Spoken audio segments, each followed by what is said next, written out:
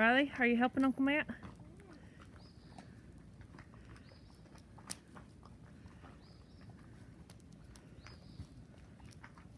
Keep it moving on the bottom so it don't stick. Riley, look at me. What are you making?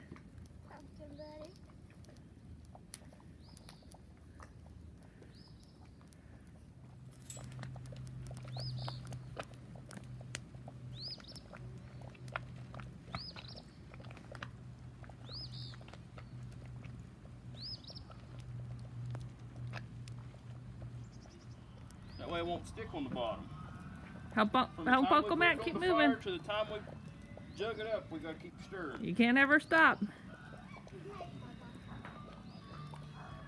Skylar, are you a good helper? Is that fun? Are you Uncle Matt's buddy? Mhm. Here, Yeah, step around this way. Your business is probably gonna give me a haircut. Maybe. Probably not today. It might be this evening or tomorrow. We got all week. Stir, stir, stir. Help Uncle Matt. True. All right, let's go back this way.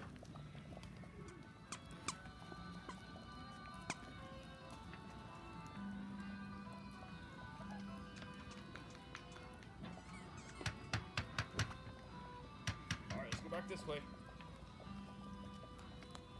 Oh,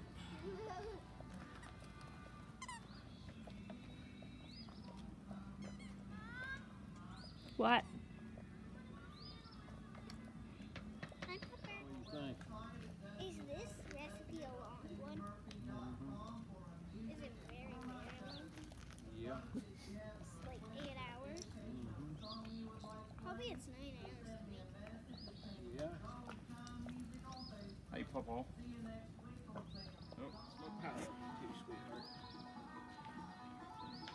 what I'm looking for. This is the reason we're doing it, so you guys it spark some interest. This is like eight hours to make it. It's hours to make it, yeah. Eight hours is like a whole Yeah, it's like a whole day. But we're gonna fill up a bunch moving. See? Bring it back all the way to you. There you go.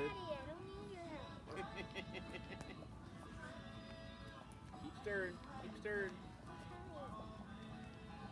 Sure you don't need help, right? I got it. That's an arm workout. Give you big muscles. Around. Nice to the center. Let's stir it back and forth over here. You remember Anna telling about first kettle she, she made by herself. She thought she done a good job on it,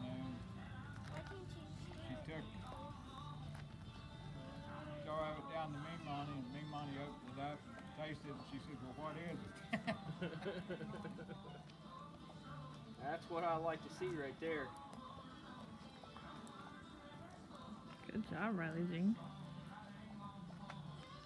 Don't pick it up off the bottom. Make sure, make sure it stays on the bottom.